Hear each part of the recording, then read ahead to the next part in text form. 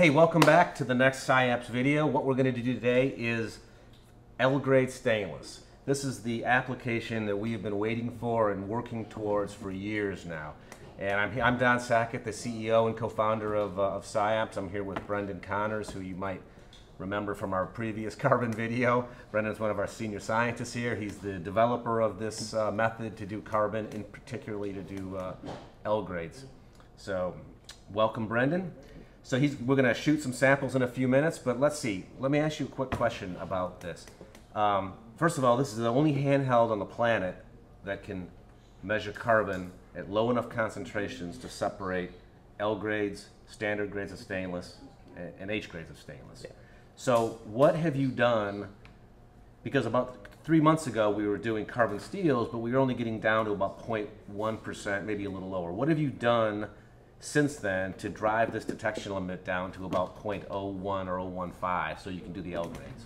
Okay, so uh, the analyzer still looks a lot like our standard yeah. Z200 yeah, analyzer, um, but we've uh, put in a high resolution spectrometer for uh-huh. that carbon line down in the UV at 193 nanometers okay. to help separate it from some iron lines that right. overlap. Um, we also use some ultra pure argon and um, we've implemented, also along the lines of the spectrometer, we've implemented an ultra precise wavelength calibration algorithm mm-hmm. to make sure that that uh, carbon line shows up repeatably at the same location every time. Yeah. Um, and we've also enhanced our data rejection and uh, data analysis okay. algorithm. So, in case you did a bad grind, um, which is especially common testing these really low levels of carbon, um, the analyzer will let you know that. All right. Bill Gates of carbon here. Here we go. so we've got some of these units in the field. We've got customers using them for L grades, early adopter type of customers. We're getting really good feedback. We're doing demos. It's going well. Um, a couple of comments I've heard are compared to optical emission, they love the data rejection because they say that they, it's really great that the analyzer will tell them when a reading seems to be bad because of poor precision on the carbon compared to all the other shots. Mm-hmm. And I think they like that because, for example, that's typically where you have a poor grind. Yeah. It, would you say that's if you get a bad reading, it's because of a bad grind almost all the time. Um, yeah, much of the time could yeah. be an inhomogeneous sample too. You're yeah. not as likely to run yeah. into that with these stainless uh, okay. stainless samples, but it's a possibility. All too. right, excellent. So like that, obviously the fact that it's handheld is a big deal. Test takes about well, we do average about five tests, each one about three seconds, so it's kind of a 15-ish, maybe 20-second test. Yeah, yeah, that is yeah. That number of averaging is variable, yeah. but we'd recommend a, at least yeah. five tests to average together. Excellent. I love this little grinder. All right, very good. Well, what do you think? Should we shoot some samples and show these people that, you know, that it actually works? Sure. All right. What do you want to do first? Um, so let's do some 316, then we'll compare it to 316L. Okay, got it. And the car, what's the carbon in this guy? Um, so this one is, I think, 0.04, okay. 042. All right. Remember all these? Uh, yeah. Hundreds of samples. Remember the carbon number, the three digits on every one? These are all my favorites. you got a good sense of humor for a scientist. I get that sometimes. greatest collection. All right, here we go. Here's the shot.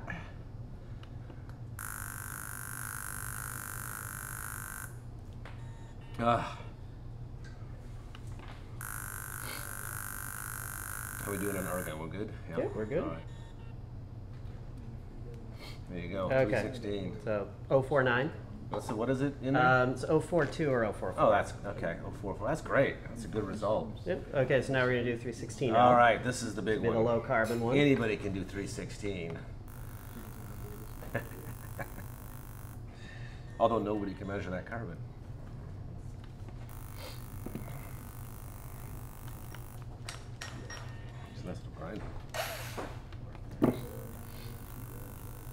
All right, this is 316 now, so it's down around 02 or something? Um, yeah, this uh, this is pretty low, 0.015 or so. Really? Okay. 015, wow. So we'll probably just see this as low or less less than Yeah, or less than, a, less than the detection limit. And you think the detection limit's about 02? Um, yeah, 01 to 02, somewhere around there. Yeah. Money shot. There you go, 316 now. What you got? Uh, 023. There you go. Nice. Very impressive. Yep. Okay, should we push our luck and do a 304? 4L sure, equipment. Yeah. So I have a 304 right. and a 304L. So uh -huh. try the 304 first. Okay. All right. This one has about 0.05% carbon in it. Oh, piece of cake.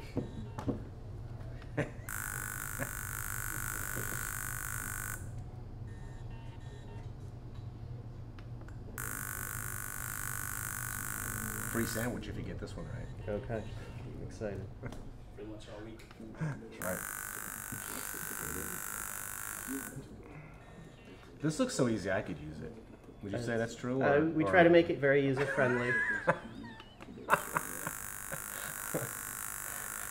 You're very diplomatic for two. there you go. Uh, okay, so 046 for about an 05 sample. That's good, man. That is really impressive. Okay. Okay. Here's the big one, all right, 304L. So now we do 304L. All right, you're on a roll.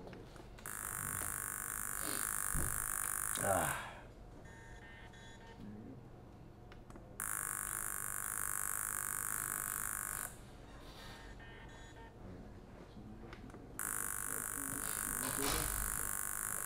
This is a higher purity argon we're working with? It is, yep, yeah, Yeah. high, high purity argon, Yep. which helps. Oh, yeah. All right, here it is. It's not rejecting really any tests. That's good. No, that means, that means you have a good grind, yeah, it right? just means we, we did a good Yeah. grind. Oh, there we go. So One test rejected? Yeah. All right. Hit it again. Well, better to know than not to know, I think, when it comes to that, right? All right, there you go, Okay. 304L. And what's that Uh, carbon? 026 and it's got about 024 in it. you really got to clean this up. I know, I know. Oh, Do better grind next time. That is phenomenal. Thank you. All right, so what did we show? We shot so we shot 304, 304L, 316, 316. Now we could separate them all on the carbon content. yep, and we can do H grades too. We so can do higher H- carbon, yep. of course, we can do. Yeah, that's, that just gets easier. And of course, we, as we showed earlier, we, we can do the we do the carbon steels. And you, you've even been able to do uh, cast irons, which are up in the two, several percent range carbon. Um, yeah, yeah. So, want. so we have a dedicated calibration for stainless steels, um, for low alloy steels, Steels. carbon steels, and we can do car- uh, uh, cast irons as well. Okay. So one to um, as, high, as high as they come. Yeah, excellent. All right, let's take a minute to talk about best practices because we, didn't mention that at the beginning. Um, I think what you've told me um, is that grinding is, especially for these stainless steels, it's just critical. I mean, you're down on the 01, 02 percent carbon, and you really have to get have a good grind. True enough. So what do you? s And then you said you also, if you're using our grinder, if you this is the grinder we recommend if you want a handheld grinder. Most most people that are going to that are using this unit already have a grinder and they're comfortable with it, and that's great. If you use our grinder, you were saying you change the pad about every how many tests would you Uh, every every few samples. I mean, ideally every two or three samples. Yeah. Sometimes you can go a little longer than that. Yeah. But um, yeah, for, for, Yeah. for best performance, every two or three samples. And that's just because you pick up. It doesn't take much dirt to pick up on this to, Yeah. to leave on a new sample. Yeah. And when you're talking 02 or 03 percent, it's so easy to cross contaminate. Is Yeah. that really the deal? Yeah, and also they're hard samples, and so the abrasive wears down over Yeah. time. I see.